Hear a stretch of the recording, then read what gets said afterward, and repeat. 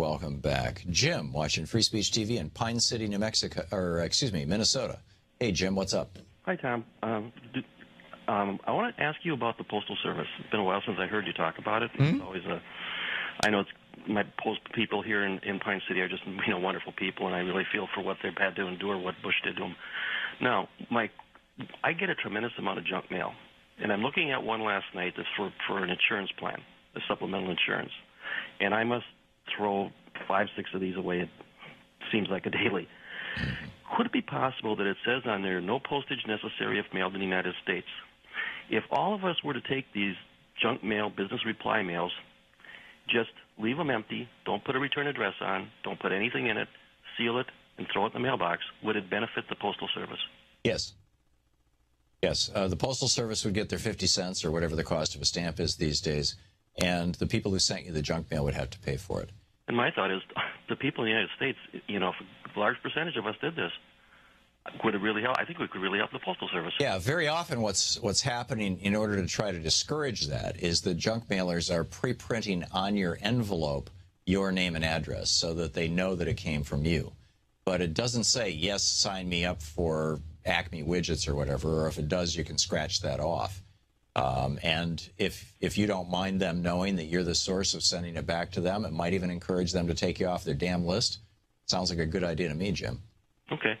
Okay. Thank you. Good And uh, how are they at on their payments on that uh, large debt that they had to pay for the The postal postal service, as Yes. far as I know, and I may be wrong on this, but I think I'm not. I think that this is the last year of 10 years. I think it, it went into effect. It was passed in 2005. It went into effect in 2006. It was five billion dollars a year for five, for 10 years, which is 50 billion dollars.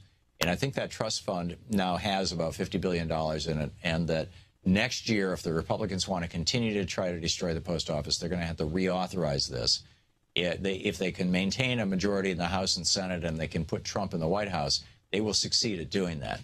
If if not, if they end up with Hillary Clinton in the White House and they have Democrats controlling the Senate, in all probability they will not be able to renew it. In which case, the post office will get a breath of, of air. Uh, they, they'll have five billion dollars more every year than they have right now. Um, you know, they'll have this trust fund that they can use to pay for the health of retired people 70 years from now.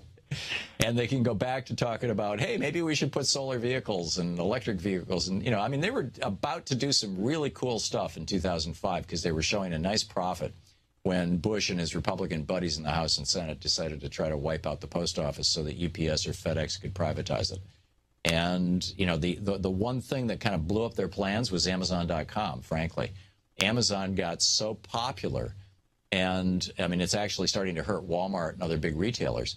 Amazon got so popular, and they were using the U.S. Postal Service for so much of their delivery that they actually kept the Postal Service alive, uh, you know, along with other kinds of, of mail and things, uh, low these last 10 years. So the best laid plans of Republican mice and men uh, didn't quite work out. But uh, this is something to contact your members of Congress about. The, the congressional switchboard is 202 225 3121 or 224 3121. They both work. And you can just ask for your senator or your, your senators or your member of Congress and let them know that you think that it's crazy that the post office has to fund retirees who have not yet been born and you'd like to see the Postal Act of 2005. You know, let it expire, let it die, let it go away. Jim, thanks a lot for the call. Great to hear from you. Thanks for watching Free Speech TV. We'll be right back. To watch more clips from our programs, hit the Watch More Videos button over here. And please be sure to hit the handy dandy subscribe button so you'll always be up to date. Tag, you're it.